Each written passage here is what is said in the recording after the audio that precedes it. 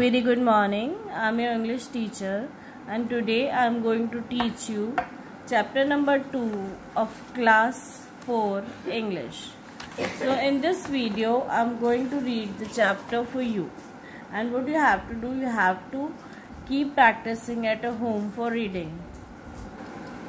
So as you can see this is chapter number 2 the capable man and this is on page number 8 so I am going to read the chapter for you. The Capable Man Once upon a time there lived a king. He was a very kind man and he looked after welfare of his people. He saw that all the people in his kingdom were happy and satisfied.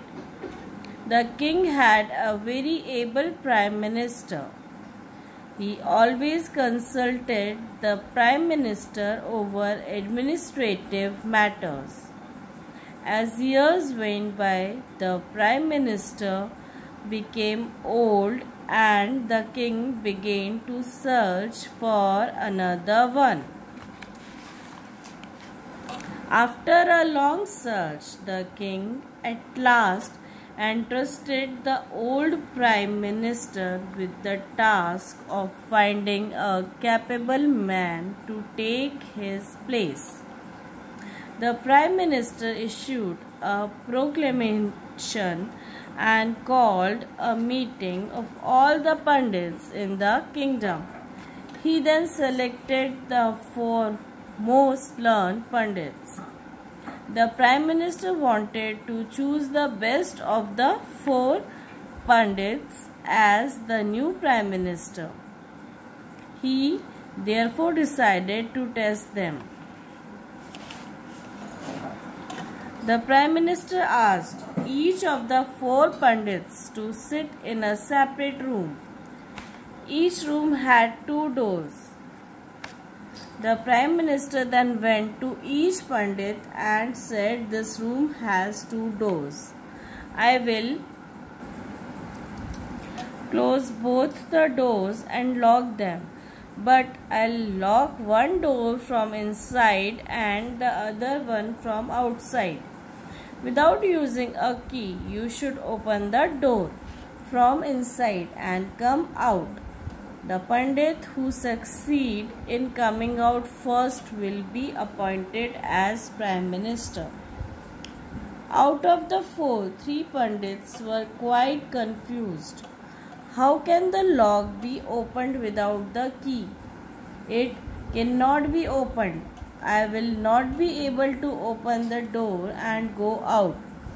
Thinking so, the three Pandits spent the whole night studying their books in order to find solution of the problem.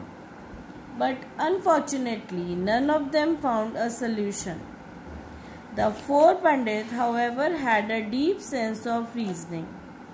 He had a rational and analytical mind. He pondered over the problem for a long time. There is no way to open the lock without the key. Therefore, I think there is some trick in the lock itself. Let me check the latch and lock, he thought. Thinking so, the fourth Pandit went to the door. He examined the lock and the latch for a minute. Suddenly, he realized that the door was on the latch. The door was closed but not latched. The lock simply hung from the latch. The intelligent Pandit quickly opened the door and came out of the room. He then presented himself before the Prime Minister.